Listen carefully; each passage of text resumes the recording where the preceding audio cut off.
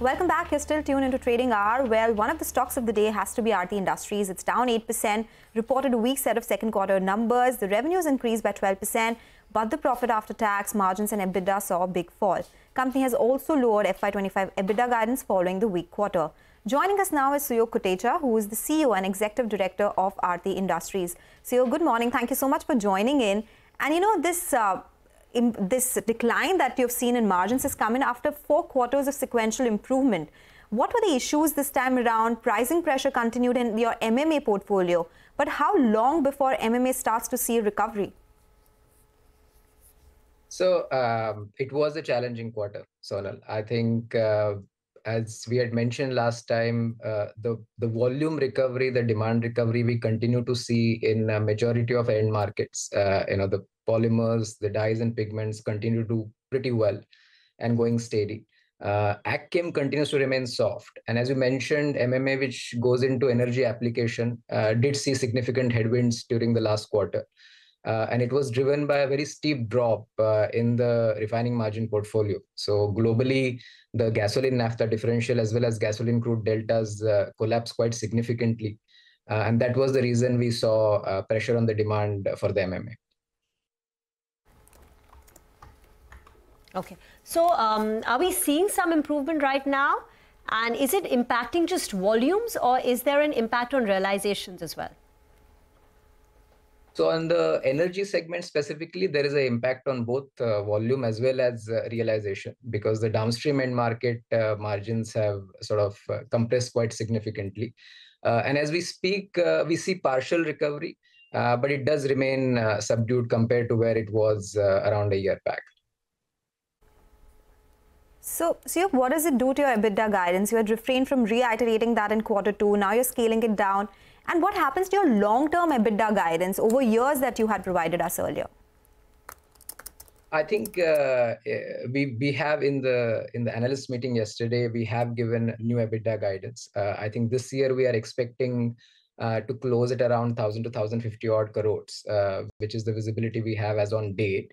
Uh, our three-year uh, target uh, still remains to double the EBITDA from the current level. So we have given a three-year guidance of FY28, Uh, where we expect to land around 1800 to 2200 crores of EBITDA, uh, along with uh, you know much better ROCE numbers and much better debt to EBITDA numbers.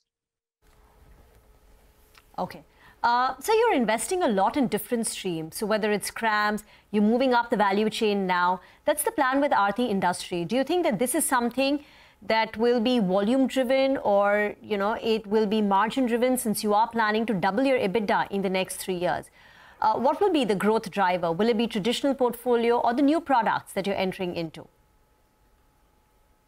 So I think next three years EBITDA is predominantly driven by initiatives which are already in the play. Uh, and I think we have also given this time enough uh, clarity in terms of where do we think this EBITDA will come from.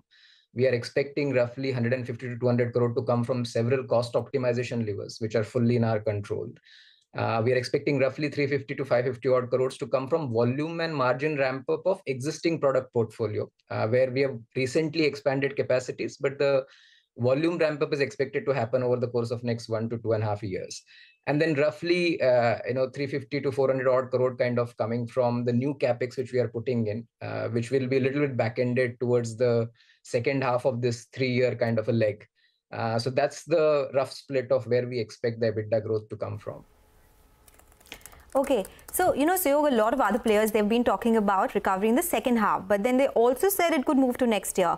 Uh, what's your sense? Is this an industry-wide problem and recovery could come by only FY26 versus quarter two of FY25 that was expected earlier? I think uh, to some extent it is an industry-wide problem, though for individual players, depending on the value chain they're present in, uh, I think the time frame of recovery could look very different. But at an industry level, uh, it is a fact that uh, post-COVID era, uh, China built significant capacity across value chains which is coming on stream right now. And unfortunately, that is getting combined with a lack of domestic demand in China, which means uh, they're forced to dump these volumes all over the world, which basically leads to margin pressures uh, for players uh, around the world. And that is the phenomena we are going through right now. Um, and as you said, recovery uh, the, the timeline of recovery will vary depending on the value chain uh, in which you're presented. Mm. Uh, you had a lot of capex lined up. Now, most of it is done. So, what is the debt now? I think the last number we had was about 3,000 crore rupees. So, if you could give us an update, what will you end the year with and even next year? Yeah, so I think uh, as we mentioned last time, we are expected to peak around 3,500 kind of uh, level from a debt point of view, and then it will marginally go down. I think our capex guidance also for this year is uh, in the range of 1300 to 1500 crore, which is slightly lower compared to previous number of 1500 to 1800 crores. And next year, the capex number will go down even further. We are expecting around 1000 crores of capex next year. Okay, that's 1,000 crore of capex next year. I also wanted to understand the export picture, especially on the back of Red Sea crisis, because a lot of companies spoke about how freight prices went higher. Does it still continue? Are these costs still higher? And does it impact your export demand in any way? Um, or also the container availability, is that a problem?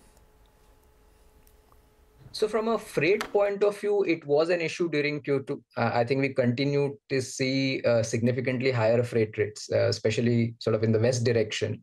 Um, but however, we have seen uh, softening of that in the last two weeks, and we hope that trend will continue going forward.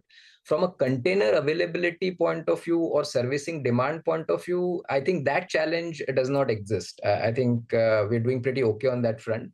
But from a freight cost point of view, Q2 was still uh, at elevated levels, but we've seen softening in the last few weeks. Okay, that is some positive news for the industry and exporters otherwise as well.